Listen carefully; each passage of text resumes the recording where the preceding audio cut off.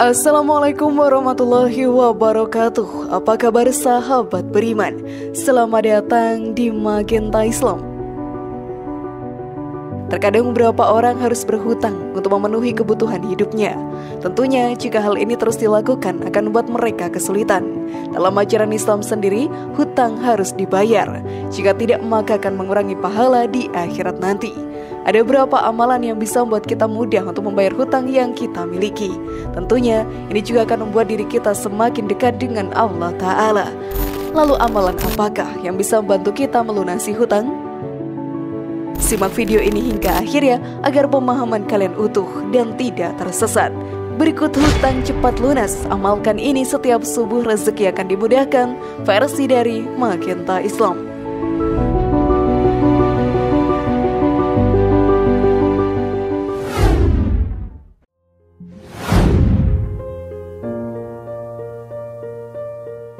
Amalan sedekah subuh mudahkan lunasi hutang.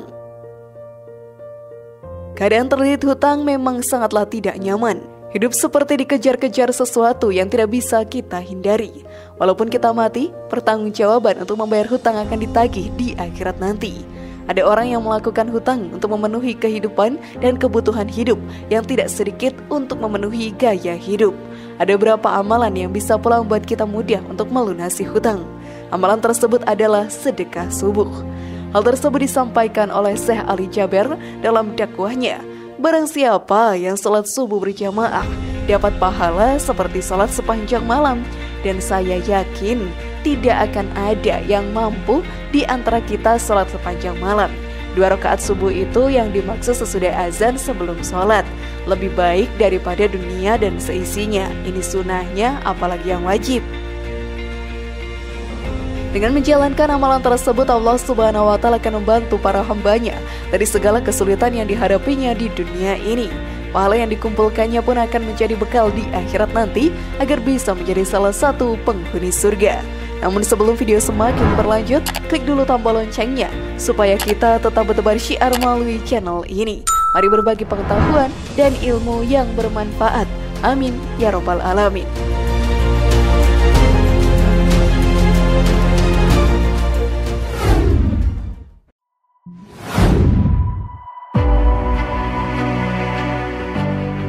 Malaikat berdoa pada waktu subuh.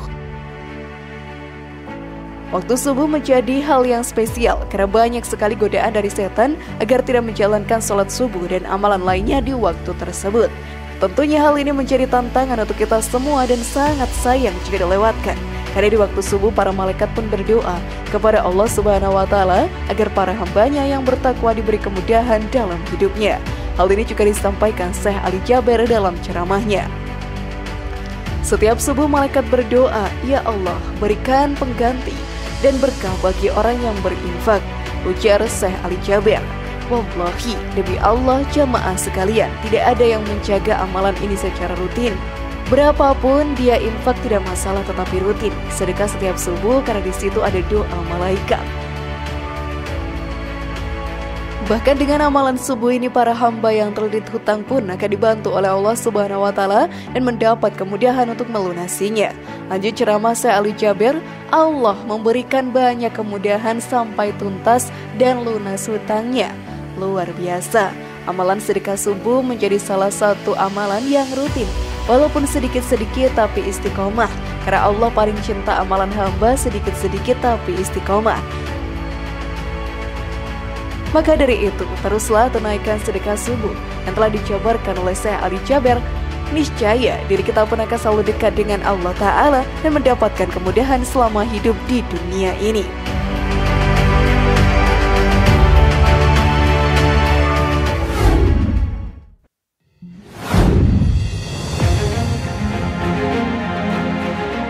Hutang wajib dibayar sesegera mungkin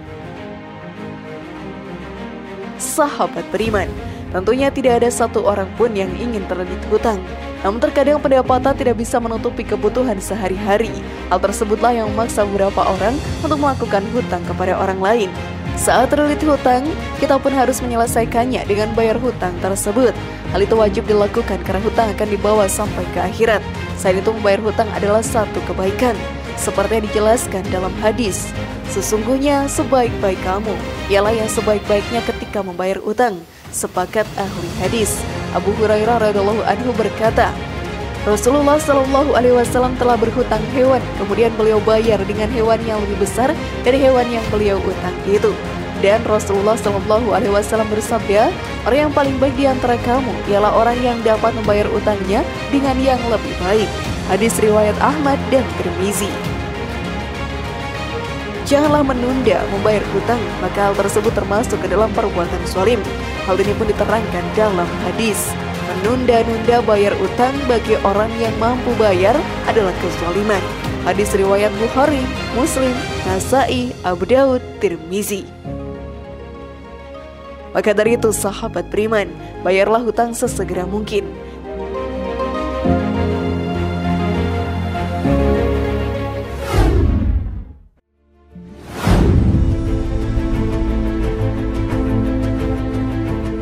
Bagaimana sahabat beriman? Apakah kalian sudah melakukan amalan tadi? Semoga informasi tadi bermanfaat ya dan buat kita berpikir lebih bijak. Mari bangun Magenta Islam ini dengan cara klik tombol subscribe, like, share, dan aktifkan tombol loncengnya. Assalamualaikum warahmatullahi wabarakatuh dan jangan lupa tonton video yang lainnya.